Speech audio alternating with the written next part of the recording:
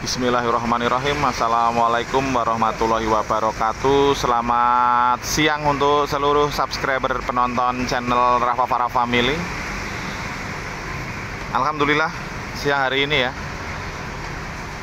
Bis ALS Nopin 221 baru saja dari Tambal Ban. Ini masuk lagi ke kawasan Pulbis ALS Yogyakarta 10 hari tak jumpa dengan bis ALS Nopin 221 ya. Kemarin lost doll bareng dengan Pak Alek. Diajak joget.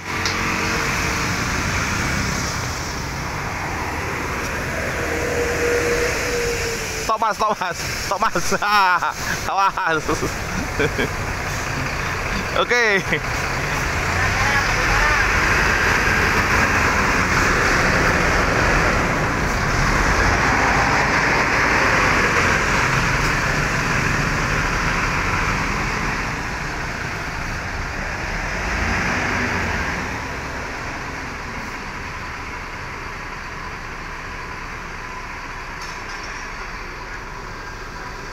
Siang hari ini kita kedatangan tamu lagi dari Jawa Timur. Datangnya telat.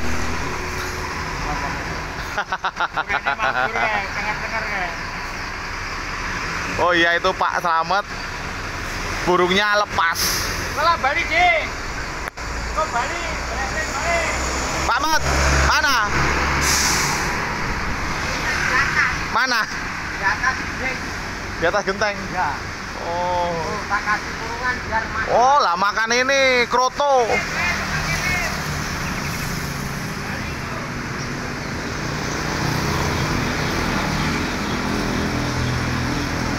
Burungnya lepas.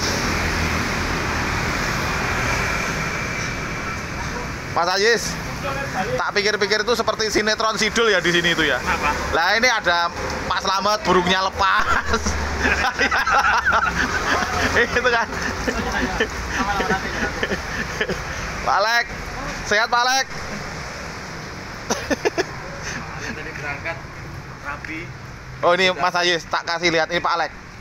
Ini namanya pir balon. Oh iya ya. Nah, ini Mana balonnya ya? pir balon. Sekarang jadi Enggak semalam aku hari ini. sekarang sudah belum datang. Bang Ali, kita goyang lagi. Mana jamnya? Apa? Jam. Nantilah aman. Kan besok berangkatnya. Pak Mamat udah ganteng kali ini.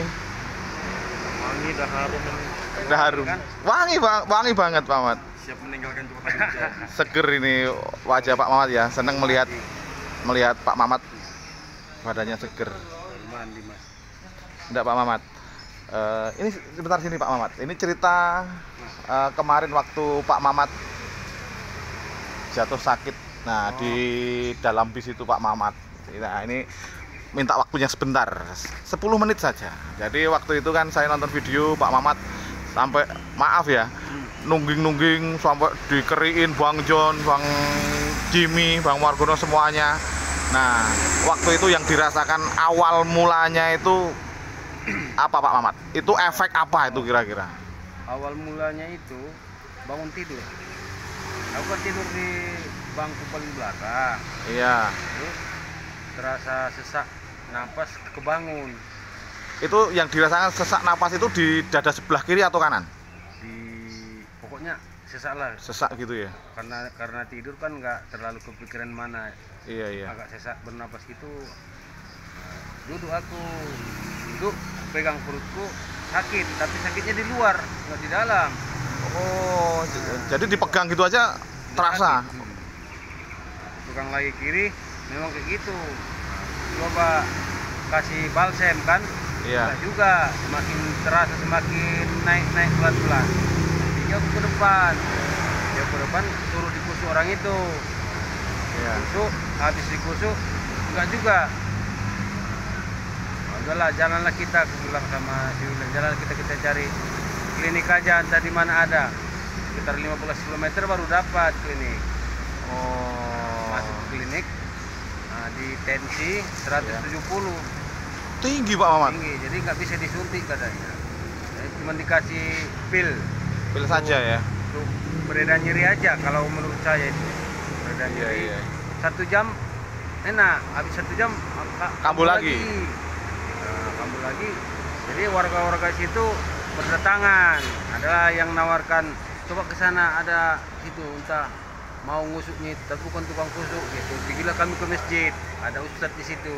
Iya kusuknya lah ada satu jam satu jam kita tunggu aja gitu agak reda makanya kami jalan nanti jalan kambuh lagi begitu ya Pak Mamatnya Nah, pekan baru berobat lagi. Habis berobat pekan baru jalan lagi. Kisaran berobat lagi. jadi berhenti berhenti terus base itu ya Iya. Baru sampai Medan. Sampai Medan udah langsung berobat, langsung diimpus, disuntik vitamin macam-macam lah. Habis itu pulang ke rumah. Pulang ke rumah dua tiga hari nggak reda juga. Badan semakin lemas rasanya itu. terus keluar keringat dingin nggak itu Pak Keringat keluar terus. oh malam siang malam kalau keringat itu keluar iya iya Pak istilahnya walaupun pas pas ke kipas itu aja mobil dia mobil luar AC badan ini keringatan iya iya, iya. Eh, setelah seminggu di Medan ada inisiatif kawan. Coba periksa jantung aja. Le katanya. Katanya ke periksa jantung positif penyumbatan pembuluh darah. Oh begitu ya. Dan waktu itu Pak Mamat kan dibawa ke rumah sakit itu kan? Hmm. di situ Pak Mamat menjalani operasi ya itu ya. Jadi waktu itu operasi itu operasi apa itu Pak Mamat? Maksudnya masukkan ring atau kalau bagaimana itu kalau terdeteksi kata dokternya 70% penyumbatan itu paksa pasang ring. Jadi kalau 70% penyumbatan baru pasang ring ya? Nah, tapi alhamdulillah di bawah 70 jadi nggak perlu pasang ring cuma diket aja. Kata Diket? diket istilahnya. Oh, kalau gitu kita nggak ya. tahu diket itu gimana kan. Yang jelas saya tengok alatnya itu ada masuk seperti kawat ke tubuh kita sampai ke jantung. Dimasukkan lewat mana Pak Mamat lewat paha. Lewat paha ya jadi sebelah kanan atau kanan kiri? Sebelah kanan aja. Sebelah kanan aja ya. Oke. Pak, masuk ke dalam. Nampak di monitornya itu nampak itu. Kawatnya itu cari apa itu? Tapi kalau udah di dalam nampaknya kayak disembur gitu. Oh jadi kondisi waktu itu Pak Mamat juga sadar juga ya? Sadar. oh jadi biosnya bios? Bius lokal lokal kata tidak semuanya Pak? Nggak semuanya. Bius lokal cuman nggak sakit. Iya iya iya iya. Jadi masuk itu Hmm. Seperti disebul gitu ya di pokoknya nampak lah nampak Sem- sembur. alatnya itu nampak di dalam tubuh kita sampai ke jantung dia mas dari lewat dari- monitor ya Pak Mamat Hmm. Kurang teko montore ya. Setelah itu eh, setelah disembur itu dimasukin itu tadi dari paha itu tadi Hmm. itu dicabut lagi berarti Pak ya habis itu udah selesai semua di dicek lagi nggak ada lagi nah, operasi selesai. Habis itu operasi selesai masuk ke ruangan kedua penarikan alat. Oh nah, jadi alat itu ditarik kembali. Setelah itu mulai agak agak Longgar. bernapas pun agak longgar. Hmm, begitu ya Pak Muhammad ya. Jadi itu namanya diket ya itu ya Diket, tidak kalau- diring ya? ya. Kalau 70% baru kata dokternya oke terus untuk dokter ada pantangan pesannya merokok dilarang merokok atau bagaimana? Nah, gitu kan? Kalau dokternya bilang nggak ada pentangannya sih cuman di dianjurkan mengkonsumsi obat penurun darah darah tinggi. Karena awalnya katanya dari darah tinggi. Oh jadi ini efek dari darah tinggi langsung sesak napas seperti masuk angin gitu ya? Penyumbatan pembuluh darah. oke Pak Mamat. Jadi alhamdulillah Pak Mamat eh, hari ini bisa hadir kembali Iya. di tengah-tengah kita di Pulbis ALS Yogyakarta senang sekali walaupun kemarin berita itu sangat menggemparkan bahkan mencemaskan ya itu Iya. kemarin ya. Jadi melihat video-video dari teman-teman kita yang ada di Medan tapi ya alhamdulillah senang kita Pak Mamat bisa hadir kembali. Yang pasti pesan dari kita semua di sini Pak Mamat harus jaga kondisi badan jaga kesehatan.